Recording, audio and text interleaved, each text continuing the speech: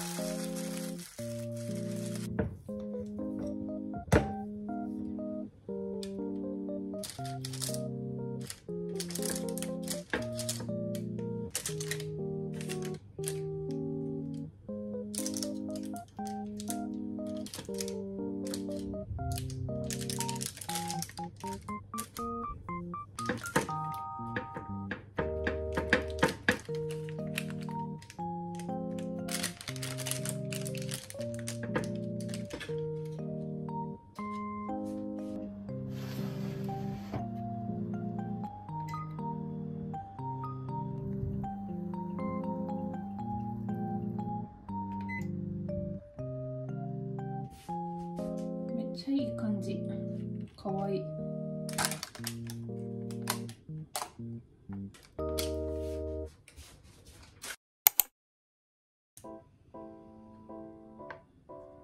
かわいい。いい感じにできた。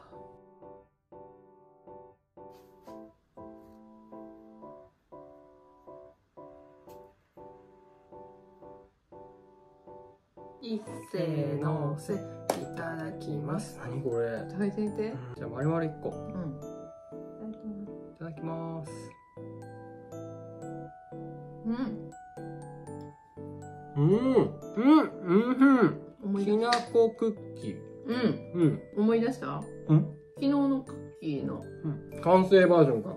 うわ昨日のクッキーさ、丸々こうやってさ、うんうん割って食べてたけど、ーあれをちっちゃくして作るって言ってたもんね。そうぱちょっと分厚くして、うんちょっとまだほろっとはしてるけど、うんでもそれが美味しいよね。美味しいねうん。これはうめえわうん。うん食べた時にほろってなのがいいよね。美味しいよね。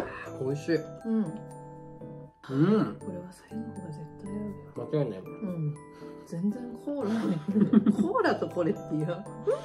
絶対乗ってない方がいい絶対最後の方が合ってるよね。美味しい美味しいね。うん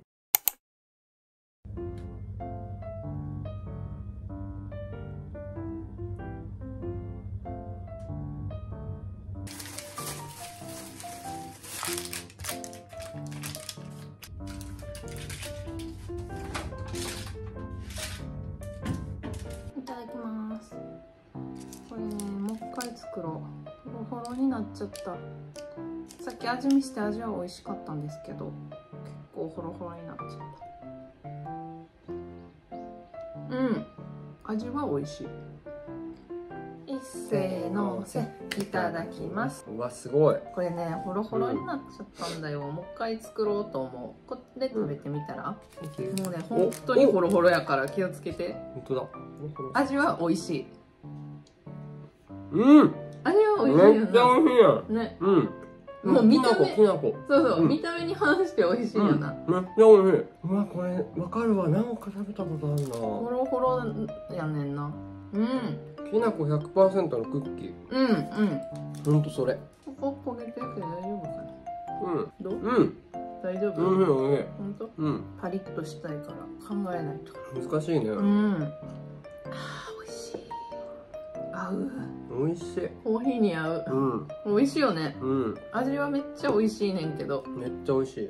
分量をもうちょっと考えないと。焼き時間なのかうーん。うん。あと厚みとか。なうーん。あと大判やからうん。やっぱりちっちゃくした方が焼き時間のムラがないよな。これぐらいなのにそうそうそう。だからちょっとやっぱりサイズ考えて作ろうかなおおほろほろやもんな、うん最後までご視聴いただきありがとうございました。こんな感じで失敗作も食べています。よかったらいいね、コメント、チャンネル登録お願いします。じゃあねー。